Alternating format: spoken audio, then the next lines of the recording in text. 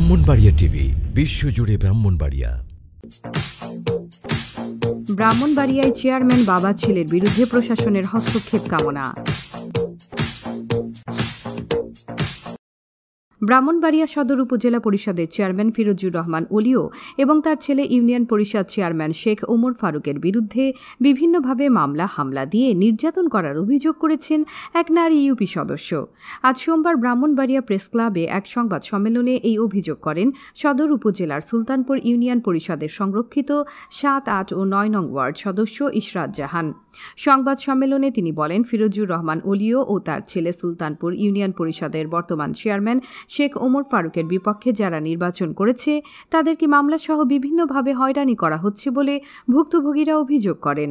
তাদের মদত পুষ্ট স্থানীয় খায়ের মেম্বারকে দিয়ে সকল অপকর্ম করানো হচ্ছে বলে অভিযোগ তোলেন সংবাদ সম্মেলনে।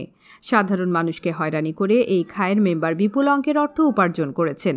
শেখ ওমর ফারুকের নির্বাচন না করায় প্রকাশ্যে তার ছেলে শফিকুল ইসলাম হৃদয়কে হত্যার হুমকি দিয়েছে।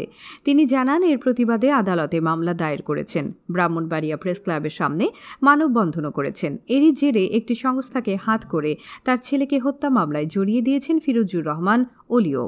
পরে আদালতে মিথ্যা একশো চৌষট্টি ধারা জবানবন্দি দেখিয়েছে।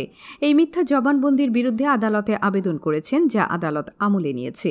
সংবাদ সম্মেলনে ব্রাহ্মণবাড়িয়া সদর উপজেলার সুলতানপুর ইউনিয়নের বিরামপুর গ্রামের মতিলাল চৌধুরী নামের এক ব্যক্তি বলেন, উপজেলা পরিষদের চেয়ারম্যান ফিরোজুর রহমান ওলিওর নির্বাচন না করায় স্থানীয় বিরামপুর বাজার থেকে সাধন চৌধুরী নামক এক সংখ্যালঘুকে অপহরণের চেষ্টা করা হয়েছে।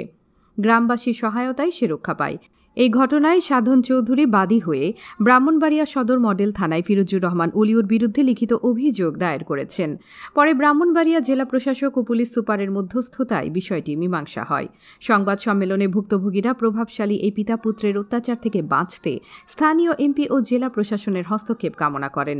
সংবাদ সম্মেলনে উপস্থিত ছিলেন কোমল চৌধুরী, অমিয় বালা চৌধুরী, অমল চৌধুরী, সৌরভ সরকার, কাশেম মিয়া। এ বিষয়ে ব্রাহ্মণবাড়িয়া সদর উপজেলা চেয়ারম্যান ফিরোজুর রহমান অলিও বলেন, তাদেরকে কেন হত্যা মামলায় আসামি করা হয়েছে তা আইনশৃঙ্খলা রক্ষাকারী বাহিনীর সদস্যরা জানেন। তিনি এ বিষয়ে কিছুই জানেন না। তার বিরুদ্ধে অপপ্রচার চালানো হচ্ছে।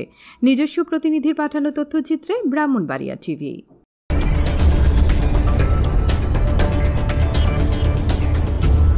ব্রাহ্মণবাড়িয়া টিভি বিশ্বজুড়ে ব্রাহ্মণবাড়িয়া।